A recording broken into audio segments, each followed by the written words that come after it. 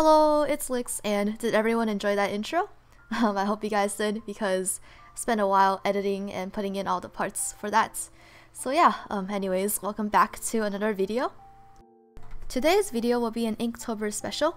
Um, in the beginning of this month, I actually planned to do the entire Inktober challenge with all the prompts and drawing something every single day. But I realized after the first day that that was probably impossible for me this year, so yeah. So, in a sad attempt to try to make it up to you guys, I am doing one ink drawing for the month of October. And that's why I'm calling it a special and not just like the Inktober challenge, because it's only one drawing, and I hope that's enough, but uh, I'm so sorry that I need to work on being able to do challenges. And I'm not sure if it's me, but I've always been so bad at doing like monthly challenges or a scenario where you have to draw every single day. I'm just so bad at keeping up with that, and I really hope to change it around next year. Oh, and if you guys haven't noticed, I actually managed to fit the sketching process into the video this time. You'll see me erase a lot and all that awkward anatomy, but I guess it's alright since it's a rare sight on my channel, I guess. And now, slowly but surely, we are nearing the end of the sketching process, and I think it was around here that I needed like a circular item for the background, but I couldn't find anything as big, so I actually had to go to my cupboard and get a bowl, a plastic bowl from Daiso, and trace it around my drawing. So I thought that was pretty funny for you guys to see. So anyways, about what I'm actually drawing, I took some inspiration from this um, Instagram artist by the name of Yun Yunkos, I think. She also has a YouTube channel, but I've actually been following her on DeviantArt for the longest time, and recently her um, Inktober drawings have just been so pretty. I also really love the way she does her lines. She just makes everything flow together so smoothly and it's just so pleasing to the eye. Meanwhile, when I try to do my lines, everything just looks super stiff and looks like a potato, so I have no idea how she does it and I'm just so envious of the way she does her art.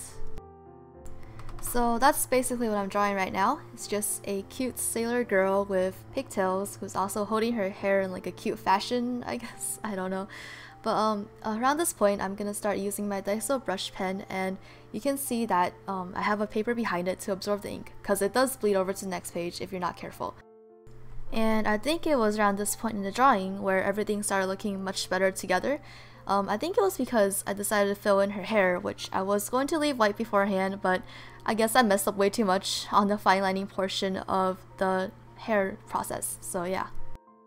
And just a little bit of information about the tools that I'm using.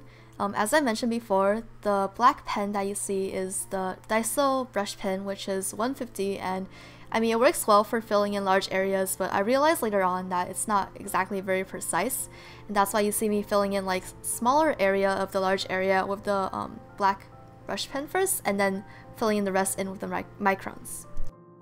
And now, because I don't really line my drawings all that often, I can't say that the microns are the best lining tools out there, but they're definitely the best pens that I've ever used. And now I am nearing the end of blocking in my colors for the girl, and I'm gonna start erasing here, but um, guys, this is why you should be patient and not rush like me, because I actually did smudge the bottom portion of the drawing, and I try to improvise and fix that, which is kind of funny, you guys will see. But yeah, um, don't be a, a rushy person like me and try to erase before the ink is dry. And finally, this is the last portion of the video where I'm just filling in the black circle behind her, but I really wish I could have been more creative with how I use that space because um, looking back on it, it's just kind of a boring black circle. And yeah, that's basically it guys.